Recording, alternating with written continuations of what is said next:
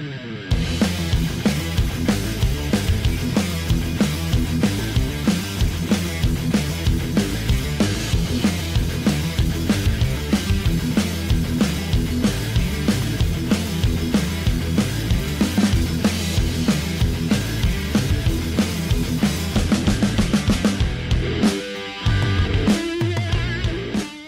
up, desktopers? Xavier Wills here for Desktop Bodybuilding, and we are back with another video. And today I'm wrapping up the 2020 Chicago Pro held in Atlanta, Georgia. And Akim Williams comes out on top against a very, very good Justin Rodriguez and Maxx Charles. So let's get into reviewing this contest and what it means for Big Ramy. Did he qualify for the 2020 Olympia? Make sure you stay tuned to the end of this video to find out what actually happened with the point standing. So let's get into it. Akim Williams takes out this win, and I've got to say it was very, very close to me after prejudging. I think a lot of the people online, also people that I saw there, I think Muscular Development, they had Justin winning, saying it was Justin's best they've ever seen.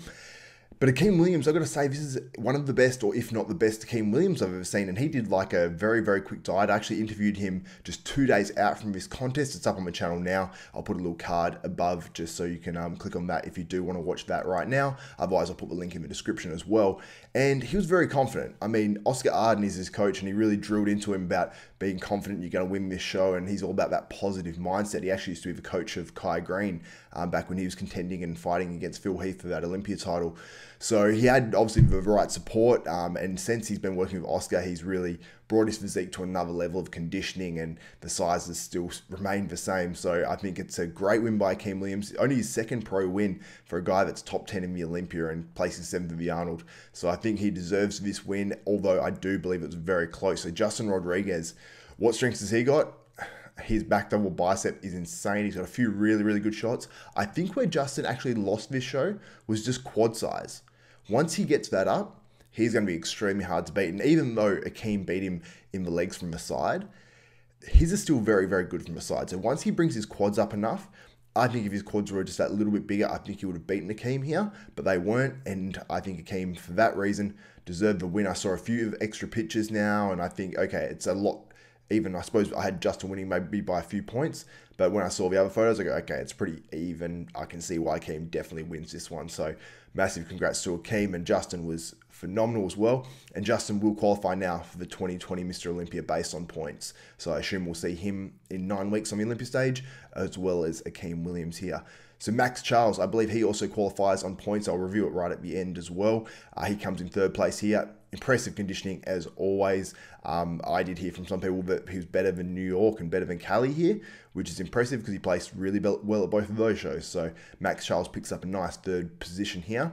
And I mentioned this in my prejudging wrap up. I said Nick Walker could move up. It looked like maybe he was going to be sixth, perhaps after prejudging. He moves up to fourth place, which is actually surprising because that last call out at prejudging had Eddie Bracamontes in there, didn't have um, Nick Walker in there, and it was a final four call out, but he still pushes Eddie Bracamontes out of there. He obviously must have improved, at least in terms of his um, points in the finals. I haven't got the scorecard quite yet. I'll put it up on the screen if it does become available while I'm editing this uh, video. And then we had Eddie Bracamontes drop down to fifth place. I've got to tell you though, I saw some more photos of Eddie um, after the finals, were finals photos, and I thought he got actually better even. So um, but perhaps that's just me playing tricks on myself. But I thought his physique actually looked a lot nicer. I saw a few different angled um, photos as well. So Eddie Bracamontes brings his best here. And it was only good enough for fifth because it was that good of a lineup. Any other show that could have been, you know, top two, could have even potentially won it. So congrats to Eddie Bracamontes. Sixth, we had An Nguyen. Like I said at the, at the pre-judging video, very impressive. He's bringing better conditioning in each and each time, pretty much. But I don't think this was quite as good as he was in Cali. I might be wrong in saying that because the lighting's different. Uh, but I thought his legs were a little bit sharper and even a little bit fuller as well. So I don't know if he's getting a little bit burnt out at this stage, but um, still a very, very impressive showing from An Nguyen in this lineup. I also want to mention uh, Phil Clahar was also very good. He may have been 7th or 8th in this show. Very, very good. Um, came in super sharp. He has a little bit of distension here and there sometimes, but overall, I was very impressed. Packed full of muscle, very, very sharp, tall guy as well, which is hard to carry that amount of muscle. And uh, he really did it well in this show. So that's it from a results, at least, of this show. Uh, if you want to see a bit more analysis between Akim and Justin, go back and watch my prejudging wrap up, and I think you guys will find that pretty interesting. So I go pose for pose with uh, Akim and Justin. Uh, although after seeing a few more of the poses that I was undecided on, I might have lent slightly more Akim on those poses. So let's get into the point standing and see how things actually sit at this point and what happens with Big Ramy and if he qualifies for the 2020 Mr. Olympia. So we have Regan Grimes in on 12 points before this show. We had Maxx Charles on 11, Mamdouh Elssbiay on 9, Anh Nguyen on 9, then Steve Kuclo, and then uh, Justin Rodriguez on 8. So by Justin getting second in this show, he acquires four points, I believe, or maybe five points. So he's going to move up into that top group of guys. He's going to jump Big Ramy which is incredibly unfortunate because if Justin Rodriguez had a won this show against Akim Williams, Big Ramy would be qualified for the 2020 Olympia. But because Justin placed second and didn't win, he is now out because we needed uh, Big Ramy needed Nguyen to place outside the top five, which is what happened.